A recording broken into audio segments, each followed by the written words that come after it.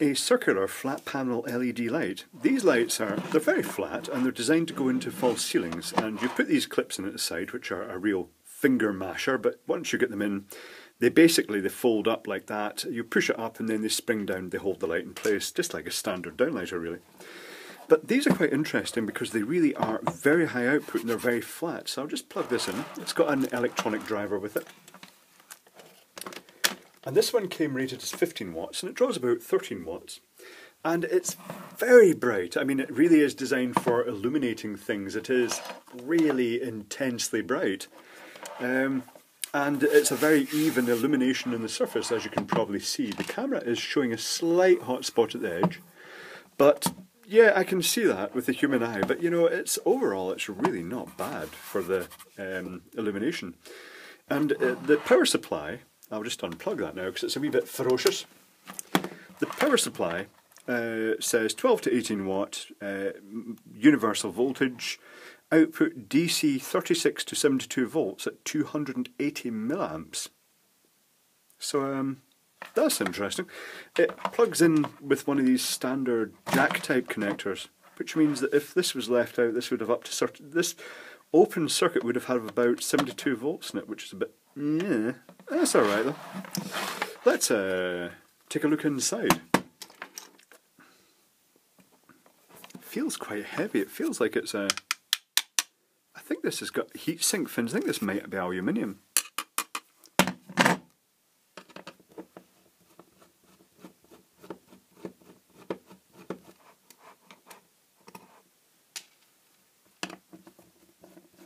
Lots of screws came with a wee skid mark on it. Initially when I took it out of the box I thought that was a crack, but this is actually metal and it's just a wee scratch. I think someone may have had an incident while they were putting a screw in.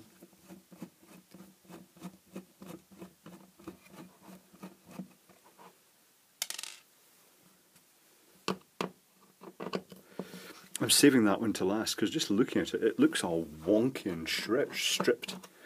Uh, Oh right, it's a, a screw with the cross in the screw is actually way off centre. It's obviously the machine's had a burp while that's been going through. So these are very, very common on eBay. I put in a, a bid on an auction one because I didn't really fancy paying the full price and got lucky and got this one for about £5 which was uh, very good. well worth it for taking to bits. So there's a metal cover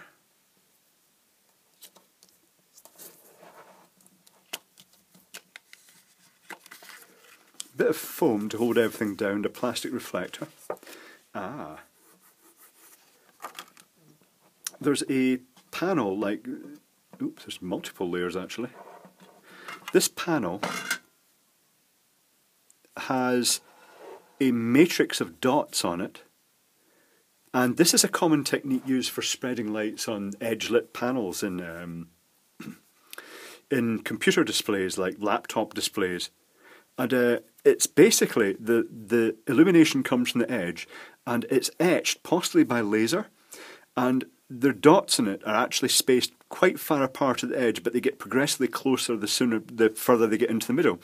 And this means that the light is spread evenly because as the light reduces intensity, there are more dots which are projecting it forwards, and and the opposite, where it's close to the edge, there are just there are less dots, which means less light actually gets put out there, but it's brighter there anyway. As um, so, that's quite a neat approach. Uh, do I have anything I can shine across this to actually?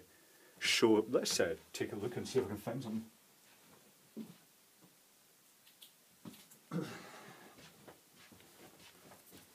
So let's uh, turn the light off and I shall try shining a torch across it.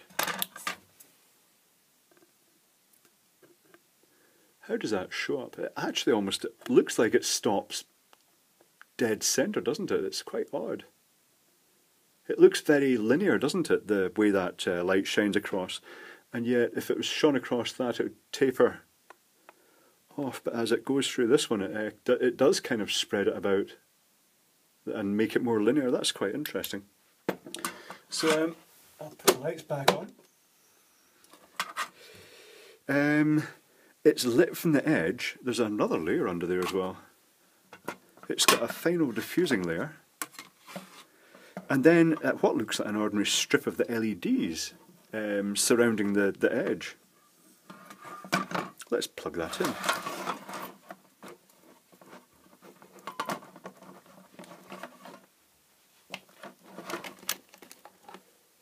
Oh, there's a dead LED. That's quite annoying.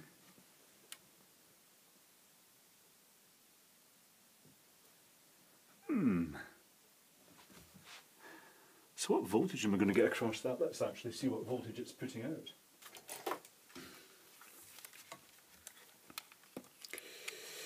That will be a DC voltage.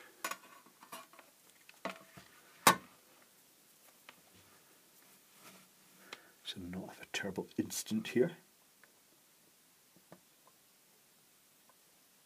47 volts. Okay. Now, the LEDs, now 47, if you add up the number of LEDs, I'm not sure how many there are, but each LED is 3 volts, so I don't think they're all in series. Um,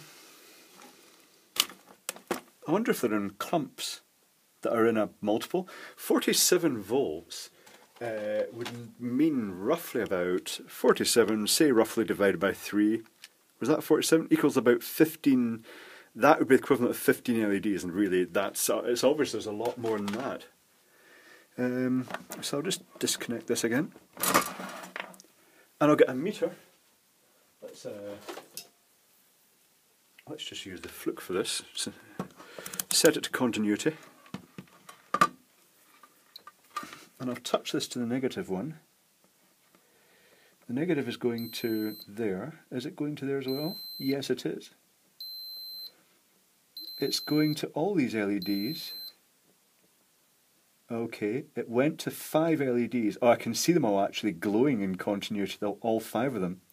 Which means that if I probably go across the next set of five as well, yep, they're all glowing as well. So they're in, in parallel multiples of five, um, and that must be about 15 multiples of five all the way around. I would guess. I'm not 100% sure how many LEDs there are in it. The LEDs are on that normal sticky tape that you you normally buy the strips of LEDs, but it seems quite narrow. I don't know if that's normal or not. And I will say that if this is supposed to be heat sinking it, then there are places that the tape has not stuck to. They've obviously, as they've put it round, it's they've pulled it taut and it's pulled away. So that's not going to provide good heat sinking at that point. I'm not sure how that's going to affect it. I don't know if it can actually spread the heat along that. Um, the dead LED might be very typical of when you win something on auction, they're a wee bit miffed, they send you a duffer, but that's fine by me because uh, I'm quite happy to uh, get slight duffers if I if it's going to get taken to bits anyway. But that means the other LEDs would be put under strain.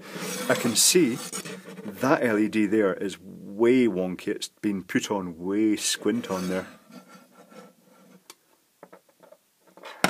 Yeah, that's quite interesting. So it's the diffusion layer, the light spreader layer, and then the um, reflector at the back that, that diffuses that, and then the metal plate to hold it all in. Okay, what about the power supply? Let's disconnect the power supply from my little jury rig connector. Get that out of the way.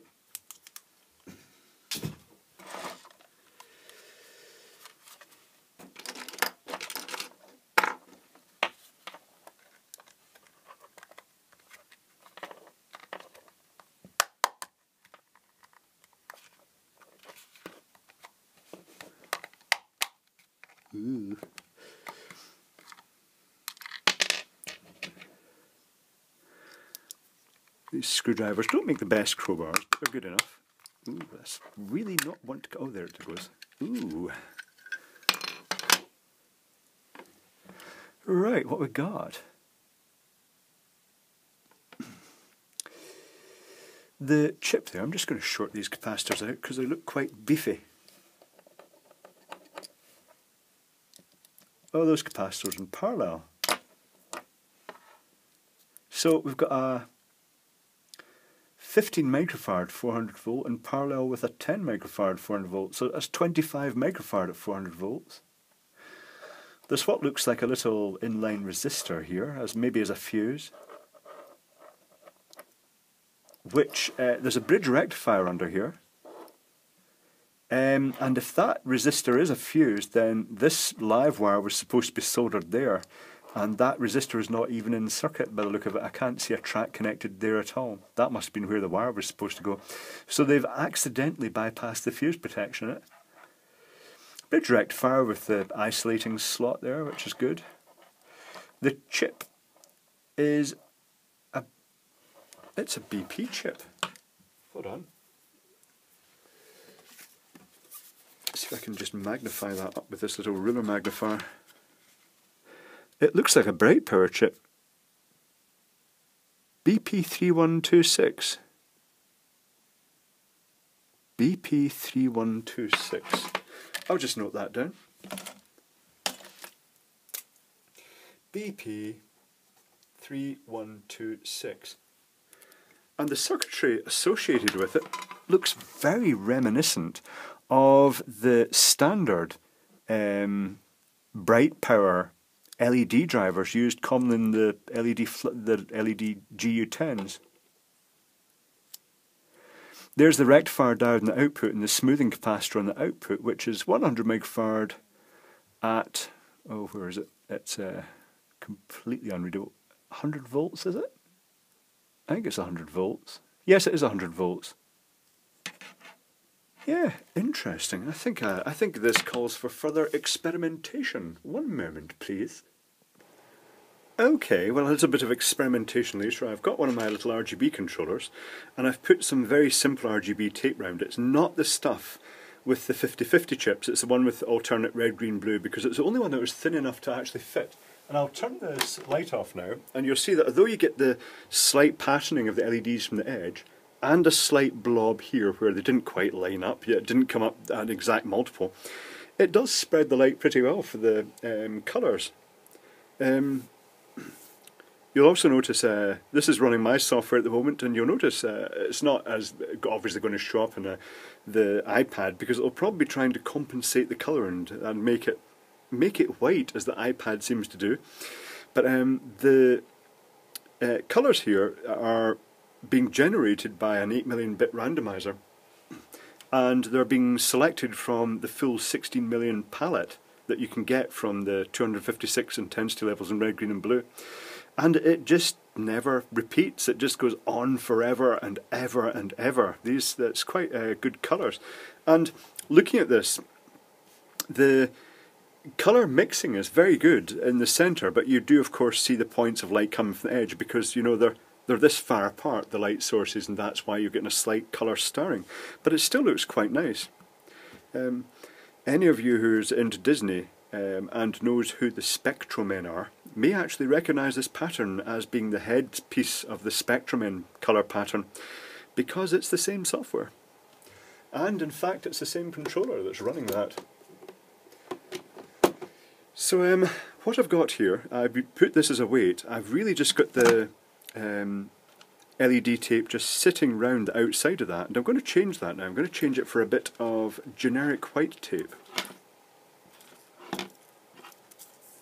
So I'll put this to the side. Uh, now all I have to do is find a bit of the generic white tape. There it is. And I'll connect that up to the 12 volt supply so it runs at full brightness. And this is just the low power 12 volt white tape with uh, three LEDs in series per section. It's not going to be anywhere near the power of these ones because these are just ordinary LEDs. But if I wrap this round I don't think the height's 100% perfect because theoretically this has to fire down the exact side of that plastic but uh, if I unplug the overhead light now and try and line that up without shorting it out um, it should pretty much illuminate that. Well you can actually see the effect that as the because the tape's uh, not sitting perfectly flush when it moves up it, it, the light pattern moves about but again, if the edge is covered, hidden with this ring, then you get fairly even illumination in the middle. And that would be quite good for decorative use. So technically speaking, you could get one of these lights if it failed. You could take the um, take the existing high power tape out the inside, put in a section of this really common stuff on eBay. Hold on, I'm just gonna I'm just gonna compare it side by side with what's actually in the unit.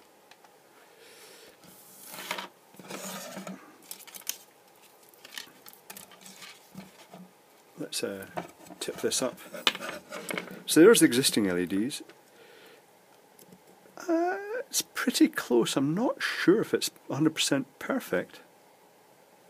But it's close enough I think it would have the effect that if you actually stuck some of this tape around the inside, then just ran it off 12 volts, you could run the panel at a sort of reduced intensity. And that would open up the possibility of quite easy uh, dimming control using standard pulse modulation controllers. Oh, I've just pulled one of the wires off, not to worry about that.